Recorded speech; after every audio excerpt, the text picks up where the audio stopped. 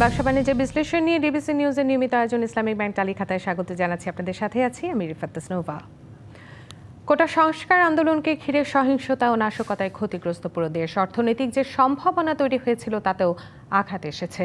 আন্দোলন থামাতে ইন্টারনেট বন্ধ ও কারফিউ জারি সহ নানা কারণে বন্ধ ছিল ব্যবসা প্রতিষ্ঠান এবং শিল্প কারখানা গার্মেন্টস। আমদানি রপ্তানি বন্ধ হয়ে যাওয়ায় ধাক্কা খেয়েছে অর্থনীতি। এসব নিয়ে আজ আমাদের তালিখাতার আলোচনার বিষয়। নাশকতায় কতটা ক্ষতি হলো অর্থ বাণিজ্যের। আলোচনা করতে আমাদের সাথে আছেন electronic safety and security association of Bangladesh ইসাবের president ও এফবিসিসিআই এর পরিচালক মোহাম্মদ নিয়াজ আলী চিস্তি এবং পলিসি রিসার্চ ইনস্টিটিউট পিআরআই এর নির্বাহী পরিচালক ডক্টর আহসান এইচ মনসুর।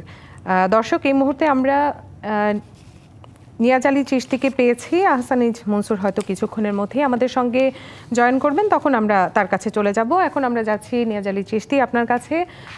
আসলে ঠিক যেমনটি বলছিলাম, যে সহিংসতা আমরা দেখেছি, পুরো বাঙালি জাতি দেখেছে, তাতে দেশের ক্ষতি হয়েছে এবং একই সাথে অর্থনীতির উপর একটি বড় চাপ পড়েছে আমরা দেখতে পেয়েছি। ব্যাংক বন্ধ ছিল এবং সে সাথে বন্ধ ছিল ব্যবসা প্রতিষ্ঠান থেকে শুরু করে সব ধরনের আর্থিক প্রতিষ্ঠান। তো সেক্ষেত্রে আপনি কি মনে করেন, ব্যাংক যে বন্ধ ছিল, এখানে লেনদেন বন্ধ ছিল আমদানি, রপ্তানি সব কিছুর উপরে একটি প্রভাব পড়েছে, এই ক্ষতি কীভাবে পুষে ওঠা সম্ভব বলে মনে করছেন? ধন্যবাদ আপনাকে এবং যারা শুনছেন সকলকে। বিগত যে প্রায় পনেরোটা দিন আপনার, আমি যদি ধরে নিই এগারো তারিখ থেকে এই আন্দোলনটা আপনার রাজপথে চলে এসছে আগে তো প্রথমত ছিল ক্যাম্পাসের ভিতরে, তারপরে আপনার এগারো তারিখ থেকে আপনার শুরু হচ্ছে আন্দোলন রাজপথে। তারপর থেকে টানা আপনার সবকিছু স্থগিতর মধ্যে ছিল। এর ফলশ্রুতিতে কিন্তু যেটা ক্ষতি হয়েছে, সেটা কিন্তু প্রতিটা সেক্টরে কিন্তু ক্ষতি হয়েছে। কারণ হচ্ছিল গিয়ে আপনার দেশটা যেভাবে এগিয়ে যাচ্ছিল এবং দেশের অর্থনৈতিক অবস্থার সাথে আগানোর একটা সম্পৃক্ততা রয়েছেই, সেই নিরিখে আমি বলব যে আমরা ছোট, মাঝারি এবং কর্পোরেট পর্যায়ে যারা ব্যবসা করে সকলেই কিন্তু বিশাল ক্ষতি হচ্ছে। স্পেশালি আপনার এক্সপোর্ট ওরিয়েন্টেড যারা রয়েছেন এবং যারা ইম্পোর্ট ওরিয়েন্টেড রয়েছেন। যেহেতু আমরা আমদানি নির্ভর দেশ এবং আমরা আমাদের ম্যাক্সিমাম যে ই আসে আপনার বৈদেশিক মুদ্রা আহরণের যে সেক্টর গার্মেন্টস সেই সেক্টর কিন্তু টোটালি বন্ধ ছিল। এবং কিছু কিছু ফ্যাক্টরি আপনার কারফিউর পূর্বে কারফিউ জারি করার পূর্বে কিন্তু চলেছে। কিন্তু চলার পরেও কিন্তু আপনার ওই যে ব্যাকওয়ার্ড যে লিঙ্কেজ সেটা কিন্তু ইন্টারাপ্ট হয়েছে। হয়তো বা কিছু ফ্যাক্টরি চলেছে কিন্তু তাদের পণ্যগুলো ঠিক মতো আপনার পরিবহনের সমস্যা ছিল, আপনার পোর্টে সমস্যা ছিল। আমদানি পর্যায়ে যে সকল পণ্য সেইগুলো কিন্তু খালাসের সমস্যা হয়েছিল। এখনও কিন্তু সেটা বিদ্যমান। আমি মনে করি যে এতে করে প্রত্যেকটা সেক্টর যে ক্ষতি হয়েছে সেটা তখনই পূরণ করা সম্ভব যদি আমরা অ্যাজ সোন এস পসিবল আমরা যদি আবারও আমাদের যে ধারাবাহিকতা ছিল সেই ধারাবাহিকতা ফিরে যাই। তাহলে যে সমস্যা যে ক্ষতিটা হয়েছে সেই ক্ষতিটা নিরূপণ করা সম্ভব। নিরূপণ করে আমরা এটাকে আবারও এগোতে পারব। আমি মনে করি যে সেই হিসেবে আপনার গভর্নমেন্টের সহযোগিতা একান্ত কাম্য। ব্যাংকের যে সহযোগিতা, সেটা খুব নিঃসন্দেহে বলা যায়। ব্যাংকের ব্যাংকের এই যে ফ্যাসিলিটিসগুলো, এগুলো আপনার বাড়াতে হবে। দ্বিতীয়ত হচ্ছিল গিয়ে পোর্টে যে ড্যামারেজ আপনার আমদানি রপ্তানি পর্যায়ে কন্টেনার দীর্ঘদিন আপনার প্রায় পনেরো দিন এক্সট্রা কন্টেনার রয়ে গেছিল। কন্টেনার যে আপনার ড্যামারেজ পোর্ট ড্যামারেজ এগুলোকে মকুব করতে হবে। এবং আপনার বিভিন্ন কিস্তি, আপনার, আমরা যারা ব্যবসা করে থাকি প্রত্যেক কিন্তু ব্যাংক লোন থাকে। সেই লোনগুলো যেহেতু আমরা সেই টাকাগুলো ইউজ করতে পারিনি বা যে পণ্যগুলো সরবরাহ করতে পারিনি, তাহলে এই কতদিনের যে ইন্টারেস্ট সেই ইন্টারেস্টটা কিন্তু আমাদের মাফ করে দিতে হবে বা আমাদের ওয়েভ করতে হবে। এই কারণে যে আমরা অবশ্যই কোনো এক্সট্রা টাকা চাই না, কিন্তু আমরা যেটা ক্ষতিগ্রস্ত হয়েছে যদি আমরা এটা কাভার না করতে পারি বা আমরা যেটা ওয়েব না পাই, তাহলে এই টাকাটা দিতে হবে, পাশাপাশি নেক্সট যে দিনগুলো আসতে সেই টাকা দিতে হবে। তাহলে হবে কি এমনিতে তো আপনার ইউক্রেন, রাশিয়ার যুদ্ধের পরবর্তীতে অবস্থাতে ব্যবসায়ীদের অবস্থা খুবই শোচনীয় এবং সেই সাথে ডলারের ক্রমবর্ধমান ঊর্ধ্বগতি এবং আপনার ব্যাংক ইন্টারেস্টের ঊর্ধ্বগতি, সবকিছু মিলে কিন্তু ব্যবসায়ীরা খুবই হিমশিম অবস্থা রয়েছে। আবার এক প্রকার হ্যান্ড টু মাউথ যেখানে আমরা প্রতি মাসে চিশতি আমরা আপনি যেমনটি বলছিলেন আপনি আমদানি রপ্তানির কথা বলছেন এবং ব্যবসায়ীদের কথা বলছিলেন আমরা সেই প্রসঙ্গে যাব কিন্তু তার আগে আপনাকে আরেকটু একটু বিষয় সম্পর্কে একটু বলতে চাই। যেমনটি বলছিলাম আমি দীর্ঘদিন প্রায় তিন চার দিন সাধারণ ছুটি ঘোষণা করার পরে ব্যাংকটা বন্ধ করা হয়েছিল। ব্যাংক বন্ধ করার ফলে লেনদেনটাও বন্ধ ছিল। যে ক্ষতিটা হয়েছে কীভাবে আমরা পুষিয়ে উঠতে পারি এবং কি ধরনের ক্ষতি আসলে এই ব্যাংক সেক্টরের বা ব্যাংক খাতের হয়েছে বলে আপনি মনে করছেন এই কয়েকদিনে? হ্যাঁ যেটা আমি বলতেছিলাম ব্যাংক তো ব্যাংকের যে আপনার লোনটা মানে আমরা যে সকল ব্যাংক থেকে যে সকল ফ্যাসিলিটিস নিয়েছি, সবগুলোই তো আপনার ইন্টারেস্ট উপর বেস করে। সেটা টার্ম লোন হোক, অথবা আপনি সিসি লোন হোক, তবে এসওডি যে কোনো ভাবেই নেই না কেন, হয়তো তো আপনার ইন্টারেস্ট উপর বেস করে নেওয়া। সেই ইন্টারেস্টটা আমরা যে কদিন আমরা সাধারণ ছুটি থেকে শুরু করে আমরা বিগত দিনগুলোতে, সাধারণ ছুটির আগের যে দিনগুলো, যেগুলো স্থবির হয়েছিল ব্যবসা বাণিজ্য সেই ইন্টারেস্টটা আমরা চাচ্ছি হলো ওয়েব করানোর জন্য। এবং এই যারা আপনার প্রায় পনেরো দিন আমরা প্রতি মাসে যে আর্নটা করি, সেই আর্ন থেকে কিন্তু আমরা ম্যাক্সিমামটা চলে যাব। হচ্ছিল গিয়ে আপনার ওয়েজেস দিতে গিয়ে। আমাদের যে লেবার ওয়েজেস রয়েছে, তারপরে স্টাফ ওয়েজেস রয়েছে, এইগুলো দিতে কিন্তু ম্যাক্সিমাম টাকা চলে যায়। যেহেতু আমরা পনেরো দিন আমাদের কলকারখানা চালাতে পারিনি এবং আমরা সেই ক্ষেত্রে রপ্তানি করতে পারিনি পাশাপাশি হচ্ছিল গিয়ে আমাদের যে ইন্টারনাল যে মার্কেট সেই মার্কেটও কিন্তু আপনার সরবরাহ করতে পারেনি। জি নিয়াজালি চেষ্টা আমরা দেখতে পাচ্ছি। এর মধ্যে ডক্টর আসানিজ মনসুর কিন্তু আমাদের সাথে যুক্ত হয়েছেন। আসানিজ মনসুর আপনাকে স্বাগত জানাচ্ছি আজকের আয়োজনে। আমরা শুনছিলাম নিয়াজালি চিস্তির কথা আমরা একটু শুনি। তিনি আসলে ব্যাংক সেক্টরের কথা বলছিলেন আমরা একটু শুনব তার কাছে যে কি ধরনের ক্ষতি আসলে হয়েছে ব্যাংক খাতের। এটাই বলছিলাম যে আপনি যেহেতু আমরা ব্যাংকের উপর বেস করে টোটালটা টোটাল ব্যবসাটা পরিচালিত হয়। এখন ব্যাংকে যে আপনার লোনটা নিয়েছে, সেই লোনের ইন্টারেস্টটা আমরা কীভাবে পেমেন্ট করব? যেখানে আমরা একটা প্রশ্ন হচ্ছিল গিয়ে ব্যাংকের টাকা নিয়ে আমরা একেবারে ক্যাপিটাল মেশিনগুলো ইম্পোর্ট করেছিলাম। তারপরে এর উপর বেস করে আমরা যখন প্রোডাকশন করি, সেই প্রোডাকশনের যে রিটার্নটা আসে, সেখান থেকে কিন্তু আমরা ওয়েজেস লেবার ওয়েজেসটা পেমেন্ট করে থাকি। এখন টোটালটা পনেরোটা দিন আমরা টোটাল থেকে আমরা স্টক করেছিল সেই নিরিখে আপনার এই যে লেবার পেমেন্ট তারপর হচ্ছিল গিয়ে আপনার ব্যাংক ইন্টারেস্ট সেটা যদি আমরা যদি ওয়েব না পাই, অন্তত আপনার সুবিধা না পাই, বা আমাদের যদি অন্তত একটা একটা সার্টেন টাইমের জন্য এটা আমাদের ই না দেওয়া হয়, সুবিধা না দেওয়া না হয়, তাহলে কিন্তু পরবর্তী মাসের যেই রেভিনিউ যেটা জেনারেট হবে বা আপনার যেটা আমরা পাবো, সেটা থেকে কিন্তু ওয়েজে যদি দেই, তাহলে আমাদের বিগত দিনেরটা কিন্তু আমরা ক্লাসিফাইড হয়ে যাব বা আপনার ঋণ আমাদের ঋণ কিন্তু মাথার উপর আরও বাড়তে থাকবে। সেই হিসেবে যদি অন্তত পনেরো দিনের জন্য আমাদেরকে ই করা হয় ব্যাংক সেক্টর থেকে যে ইন্টারেস্ট সেই ইন্টারেস্টটা মকুব করে দেওয়া হয় এবং আমাদেরকে যে যেটা যেহেতু আমরা ইন্টারেস্টটা মকুব পাশাপাশি একটা সার্টেন একটা অ্যামাউন্ট দেওয়া যেন আমরা অ্যাটলিস্ট আমাদের যে লেবার লেবার পেমেন্টটা যেন করতে পারি। সেটা ব্যাংক সেক্টর থেকে চাওয়া এবং পোর্টে যে বিষয়টা রয়েছে পোর্টে যে কন্টেনারগুলো আমরা খালাস করতে পারিনি, সেই কন্টেনার ড্যামারেজ মানে পোর্ট ড্যামারেজ এবং আপনার কন্টেনার ড্যামারেজ সেটা যেন ওয়েট করা হয়। তাহলে কিন্তু আমরা আবার ঘুরে দাঁড়াতে পারব আমাদের আমাদের যে অবস্থা সেই অবস্থা কিছুটা লাঘব হবে। জি নিয়াজান চিস্তা আমরা আবারও আসব আপনার কাছে। এই পোর্টের যে ক্ষতিটা হয়েছে সেই বিষয়টা নেই কিন্তু তার আগে আমি একটু আসানিজ মনসুর আপনার কাছে একটু জানতে চাবো যে দীর্ঘদিন পর্যন্ত ইন্টারনেট বন্ধ রাখা হয়েছিল এবং আমরা যতটুকু জানতে পেরেছি ফোর জি বা ফাইভ জি যে ইন্টারনেট কানেকশন সেটি হয়তো আজকে বিকাল তিনটা নাগাদ ছেড়ে দেওয়া হবে। এর আগে যে ওয়াইফাই কানেকশন সেটি দেওয়া হয়েছিল, কিন্তু সেই দিনগুলোতে কিন্তু বেশ ক্ষতি হয়ে গেছে। লেনদেন বন্ধ ছিল, আমদানি রপ্তানি বন্ধ ছিল এবং আমরা এতটাও জানতে পেরেছি যে রিজার্ভ আসার কথা ছিল, সেটা কিন্তু হয়তো পাঠানো হয়েছে, কিন্তু এখান থেকে রিসিভ করা সম্ভব হয়নি।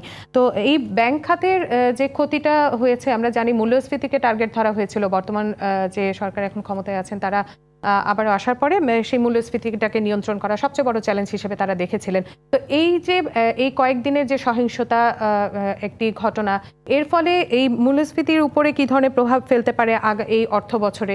এই বিষয়টা একটু জানতে চাচ্ছি আপনার কাছে। ধন্যবাদ। প্রথমত বলব যে, মূল্যস্ফীতির যে স্ট্র্যাটেজিটা নেওয়া হয়েছিল স্ট্র্যাটেজিটা মোটামুটি ঠিক ছিল। কিন্তু এই যে আমাদের যে সাপ্লাই চেইন ডিসরাপশনটা যেটা আমরা দেখলাম এটা কিন্তু ব্যাপক। এটা অভ্যন্তরীণ সাপ্লাই চেন ডিসরাপ্টেড হয়েছে এবং বাইরে থেকে যদিও বাইরের সাপ্লাই চেন ঠিক ছিল, কিন্তু আমাদের পোর্ট পয়েন্ট অফ পোর্ট থেকে ফ্যাক্টরি পর্যন্ত বা বিপণী বিতান পর্যন্ত সেই সাপ্লাই চেনটা কিন্তু ডিসরাপ্টেড হয়ে গেছিল। ফলে অবশ্যই দাম বেড়েছে। অবশ্যই পণ্য ঠিক মতো ঠিক জায়গায় পৌঁছাতে পারেনি। বিভিন্ন রকমের ঝামেলা হয়েছে এবং সেই কারণে মূল্যস্ফীতির যে এটা সেটা একটু বেড়ে যাবে, কোনো সন্দেহ নেই। এই মাসে হয়তো মূল্যস্ফীতি গত মাসের সাথে একটু বেশি হবে। কিন্তু আমি তারপরেও বলব যে, যদি সবকিছু সরকার সামাল দিতে পারে, যদি আমাদের অবস্থা যে কারণেই হোক, রাজনৈতিক সলিউশনের মাধ্যমেই হোক বা অন্যভাবেই হোক, এটা স্বাভাবিক পর্যায়ে ফিরে আসে, তাহলে হয়তো এটা ক্ষণস্থায়ী হবে। এটাকে আমরা ট্যাকেল দিতে পারব। আগামীতে হয়তো যেটা মূল্যস্ফীতি যদি চার মাস পরে কমতো, একটা স্টেজে আসতো, সেটা হয়তো ছয় মাস পরে আসবে, কিন্তু আসবে। সেটাই আমার ধারণা। যদি আমরা এক্সচেঞ্জ রেটকে স্টেবিলাইজ রাখতে পারি, এবং যদি আমরা মন্ট্রি পলিসিকে ওই টাইটার স্ট্যান্সে ধরে রাখতে পারি, এটা একটা বিষয়। আরেকটা বিষয় যেটা হচ্ছে যে এখানে যে জিনিসটা নিয়া সাহেব বললেন ঠিকই, যে অনেক বিজনেসের ক্ষতি হয়েছে, অধিকটা সব বিজনেসেরই ক্ষতি হয়েছে, কোনো সন্দেহ নেই এভরিবডি ইজ ইম্প্যাক্টেড এবং তার মধ্যে কিছু জিনিস আছে যেটাকে আমরা বলি কোপিং মেকানিজম আমরা অ্যাডজাস্ট করে নিই। অর্থাৎ একটা রিক্সাওয়ালা যে খেতে না পারে, সে হয়তো এক বেলা না খেয়ে আরেক বেলা খাবে, সেটাই তার কোপিং মেকানিজম তার স্বাস্থ্যের ক্ষতি হবে, কিন্তু সে বেঁচে থাকবে। বিজনেসের ক্ষেত্রে কিন্তু এটা ক্যান বি ক্যাটাস্ট্রফিক যেটা হতে পারে যদি তার লিকুইডিটি না থাকে, বড় বড় প্রতিষ্ঠান, তারা হয়তো সামাল দিতে পারবে। কিন্তু যারা একটু মাঝারি বা ছোট, তাদের পক্ষে কিন্তু সামাল দেওয়াটা কঠিন হয়ে দাঁড়াবে। এই এই ক্ষেত্রে কোভিডের সময়ে যেরকম ব্যবস্থা নেওয়া হয়েছিল, অত ঢালাভাবে নেওয়ার দরকার নেই। আমি মনে করি যে সিলেক্টিভলি বিজিএমই এর থ্রুতেই এটা করতে পারে। যে যারা ছোট মাঝারি ধরনের প্রতিষ্ঠান, তারা যদি যদি সত্যি সত্যি ইম্প্যাক্টেড হয়ে থাকে বা তাদের যদি ক্যাপাসিটিটা থাকে, তারা আবেদন করলে পরে তাদেরকে একটা সুযোগ সুবিধা দেওয়াই যেতে পারে। পনেরো দিনের জন্য সুদটাকে মকুব বলব না, সুদটাকে রিস্ট্রাকচার করে দিতে পারে, যে আগামী তিন বছরের মধ্যে এটাকে আস্তে আস্তে শোধ করে দাও, বা এই পনেরো দিনের সুদটা। আর আর আর আসলটাকে রিস্ট্রাকচার ওই সুদ এবং আসল দুটোকে রিস্ট্রাকচার করে দিতে হবে। সেটা একটা একটা উপায়। দ্বিতীয় উপায় হচ্ছে যে বেতন ভাতা, সেটা।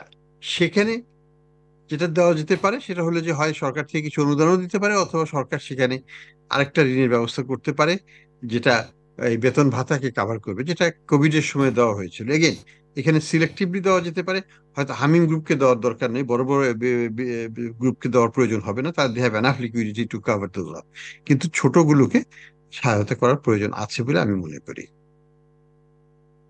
জি আপনি আসলে বলছিলেন যে কর্মীদের বেতন ভাতা এবং ঋণের ব্যবস্থা করা যেতে পারে ছোট ছোট কারখানাগুলোর জন্য। আমরা আসব আবারও আলোচনায়, কিন্তু তার আগে আমাদের নিতে হচ্ছে ছোট্ট একটি বিরতি। আপনার সঙ্গেই থাকবেন। বিরতি নিচ্ছি ব্যবসা বাণিজ্যের বিশ্লেষণ নিয়ে ডিবিসি নিউজের নিয়মিত আয়োজন ইসলামিক ব্যাংক তালিকাতায় সঙ্গে থাকুন। আবারও স্বাগত জানাচ্ছি ব্যবসা বাণিজ্যের বিশ্লেষণ নিয়ে ডিবিসি নিউজের নিয়মিত আয়োজন ইসলামিক ব্যাংক তালিকাতায় আলোচনার বিষয়। নাশকতায় কতটা ক্ষতি হলো অর্থ বাণিজ্যের? আমরা ফিরে যাচ্ছি আমাদের অতিথিদের কাছে। বিরতির পরে আমি প্রথমে একটু নিয়ে যালি চিস্তি আপনার কাছে যেতে চাই। আপনি যদি আমাদেরকে একটু বলেন যে এই যে নাশকতা হলো, তো বিদেশি যে কোম্পানিগুলো রয়েছে বিদেশি বিনিয়োগকারীরা বা যারা বায়ার রয়েছেন, তাদের যে ইমেজ কতটা বা তাদের ভাবমূর্তির উপরে কতটা প্রভাব ফেলেছে এটা আপনি কি মনে করছেন? ভাবমূর্তি নিঃসন্দেহে আমাদের যে ইমেজটা ছিল, সেই ইমেজটা কিন্তু অনেকটাই ক্ষতিগ্রস্ত হয়েছে। আমরা জানি যে আপনার রিলেশনটা ডিপেন্ড করা হচ্ছিল গিয়ে আপনার কমিউনিকেশনের উপরে। আপনি সেটা ফিজিক্যাল কমিউনিকেশন হতে পারে বা আপনার নেটে বা আপনার কমিউনিকেশন বা কনফারেন্সে হতে পারে। তো ফিজিক্যাল কমিউনিকেশন আর কনফারেন্স কমিউনিকেশন সবগুলি কিন্তু বন্ধ রয়েছে এই ইন্টারনেটের অভাবে। বিগত দিনে কিন্তু বাংলাদেশে এমন অনেকবারই হয়েছে, এরকম আন্দোলন, অসহযোগ বা এরকম ভাঙচুর, অগ্নিকাণ্ড, হতাহতের পরিমাণ কিন্তু হয়েছে বিগত দিনে। কিন্তু এবার যেটা হচ্ছে কন্টিনিউসলি আমরা অনেক দিন যাবত কিন্তু বই বিশ্বের সাথে আমরা ডিসকানেক্টেড এবং এতে হচ্ছে কি, আপনার আমাদের যে যাদের সাথে রিলেশন যারা আমাদের বায়ার বা যারা আমাদের এক্সপোর্টার সাপ্লায়ার তারা কিন্তু তাদের সাথে আমাদের কমিউনিকেশন টোটালি অফ হয়েছে। এবং এতে হয়েছে যেটা, তৃতীয় কোনো এক পক্ষ রয়েছে যারা কিনা আমাদের এই ইন্টারনেট বা আপনার ব্রডব্যান্ড অথবা আপনার বিভিন্ন সার্ভার প্রোভাইডার যারা, তাদের ইন্টারনেট ছাড়াও কিন্তু তারা আপনার ইয়ের মাধ্যমে, আপনার স্যাটেলাইটের মাধ্যমে কিন্তু তারা কানেক্টটা পাচ্ছে এবং তারা কিন্তু একটা নেগেটিভ একটা কিন্তু আপনার বিষয় তুলে ধরছে। নেগেটিভ বলব এই সেন্সে যে এক সাইডে হয়তো তা দেখাচ্ছে। দুই সাইডও কিন্তু আছে পর্দার এপি টুপি দুইটাই মুদ্রার এপি টুপি যেটা বলি আমরা আসলে যতটুকু বুঝতে পেরেছি তাদের মধ্যে এক ধরনের আতঙ্ক কাজ করেছে এবং আমরা আশাও করছি সেই যে ইমেজ সেটি ফিরে আসবে। আসানিজ মনসুর আপনার কাছে একটি শেষ প্রশ্ন রাখতে চাই। আপনি যেমনটি বলছিলেন কর্মীদের কথা এবং ছোট কোম্পানিগুলো যারা আছে তাদেরকে ঋণের কথা। আসলে এটাকে আপনি ঋণ দেওয়ার কথা বলছেন নাকি সরকারি প্রণোদনার কথা বলছেন? কারণ অভিযোগ রয়েছে ছোট যে ব্যবসায়ী প্রতিষ্ঠানগুলো রয়েছে তাদেরকে ব্যাংক ঋণ দিতে চায় না। না, এখানে যেটা হইতে হবে যে এটা তো এক্সিস্টিং ঋণ তো যার যার ক্লায়েন্টের কাছ থেকে নেবে ক্লায়েন্ট ব্যাংকের কাছ থেকে। অর্থাৎ আমি যদি প্রতিষ্ঠান, আমি যদি ব্র্যাক ব্যাংকের সাথে কাজ করি ব্র্যাক ব্যাংক দিবে আমাকে। আমি যদি রূপালী ব্যাংকের সাথে কাজ করি, রূপালী ব্যাংক আমাকে দেবে। কিন্তু সরকারকে গাইডলাইন্সটা দিতে হবে যে প্রতিষ্ঠানকে up to this amount reasonable amount যেটা পনেরো দিনের জন্য বা দশ দিনের জন্য যে ক্ষতিটা হয়েছে, সেই ক্ষতিটাকে পূরণ করে দেওয়ার জন্য। এবং সেটা ইন্ডিভিজুয়াল কোম্পানি ওয়াইজ ভ্যারি করবে, অবশ্যই। তাদের লোক সংখ্যা, জনবল, তাদের লোনের অ্যামাউন্ট ইত্যাদির উপর। এবং সেটা ক্লায়েন্ট এবং ব্যাংক তাদের ইন্ডিভিজুয়াল রিলেশনশিপের ভিত্তিতে সেই অ্যামাউন্টটা ডিটারমিন্ড হবে। কিন্তু সরকার যেটুকু দিতে পারে, একটা দিতে পারে। একটা হচ্ছে পুরো রিস্ট্রাকচার করে দেওয়া, আরেকটা দিতে পারে, কিছু ইন্টারেস্টের সাবসিডি দিয়ে দেওয়া। সেটাও দিতে পারে। It's all up to the government গভর্নমেন্টের ক্যাপাসিটি কি আছে গভর্নমেন্ট কতখানি দিতে পারবে? কিন্তু যেটা জিনিসটা দরকার সেটা হচ্ছে একটা সময়ের দরকার এবং স্বাভাবিক সময় যাতে দ্রুত ফিরে জি আমরা আশা করছি আসলে এই সময়টা এই সময়ের মধ্যেই কাটিয়ে ওঠা যাবে। আমরা যে সংকটের মধ্যে দিয়ে গিয়েছিলাম সেটা অচিরে কাটিয়ে ওঠা যাবে। আপনাদের দুজনকে ধন্যবাদ জানাচ্ছি। আমাদের অনুষ্ঠান আজকে এখানেই শেষ করতে হচ্ছে। ব্যবসা বাণিজ্যের বিশ্লেষণ নিয়ে ডিবিসি নিউজের নিয়মিত আয়োজন ইসলামিক ব্যাংক তালিকাতা যে পর্যন্তই। সঙ্গে থাকুন।